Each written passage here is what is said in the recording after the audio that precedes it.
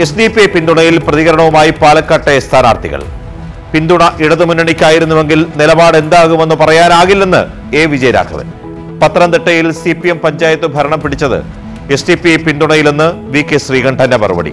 ഏഷ്യാനെറ്റ് ന്യൂസിന്റെ മുഖാമുഖ പരിപാടിയിലായിരുന്നു ഈ പ്രതികരണം. ശ്രീ വിജയരാഘവൻ ഈ എസ് ഡി പിയുടെ വോട്ടുകളാണല്ലോ കഴിഞ്ഞ ദിവസങ്ങളിൽ ചർച്ചയായി. കോൺഗ്രസ് അന്ന് പിന്മാറി. ഈ വോട്ട് സപ്പോസ് ഒരു ഹൈപ്പത്തറ്റിക്കൽ ചോദ്യമാണ്. എങ്കിൽ പോലും അവർ നാളെ യോഗം ചേർന്ന് ചിലപ്പോൾ തീരുമാനിച്ചേക്കും.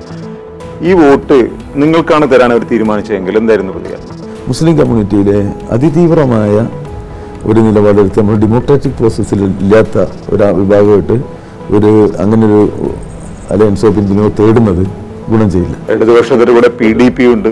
അത് ഒരു കാലത്ത് ഒരു തീവ്ര സ്വഭാവമുള്ള സംഘടനയായിരുന്നു. ശരിയായിരുന്നില്ല എന്ന് നമ്മൾ വിലയിരുത്തിയല്ലോ. ഇപ്പോഴവരുണ്ടല്ലോ കൂടെ.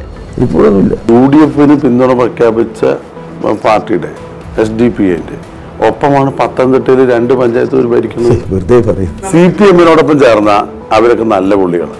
വയനാട്ടിൽ ആനി രാജ രാഹുൽ ഗാന്ധിക്കെതിരായിട്ടും കോൺഗ്രസിനെതിരായിട്ടും ശക്തമായിട്ട് പ്രചരണം നടത്തും ബംഗാളിൽ സി പി എമ്മിന്റെ സംസ്ഥാന സെക്രട്ടറി സലീമിന് വേണ്ടിയിട്ട് പ്രചരണം നടത്തുന്നത് അധീരഞ്ജൻ ചൗധരിയാണ്. എന്റെ അഭിപ്രായം രണ്ടാളും കൂടി ഒരു മുന്നണിയായിട്ട് കേരളത്തിൽ മത്സരിക്കുന്നതല്ല നല്ലത്. കാരണം എന്തായാലും ബി ജെ പിയെ പരാജയപ്പെടുത്തുക എന്നുള്ളതാണ് രണ്ടാളുടെയും ലക്ഷ്യം.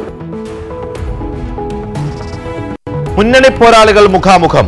ഞങ്ങളുടെ റെസിഡന്റ് ഡോക്ടർ ഷാജഹാനുമായും പാലക്കാടെ മൂന്ന് പോരാളികളും നേരിട്ട് സംവദിക്കുന്ന മുന്നണി പോരാളികൾ മുഖാമുഖം എന്ന പരിപാടി ഇന്ന് രാവിലെ ഒൻപത് മുപ്പതിന് കാണാം. പൂർണരൂപം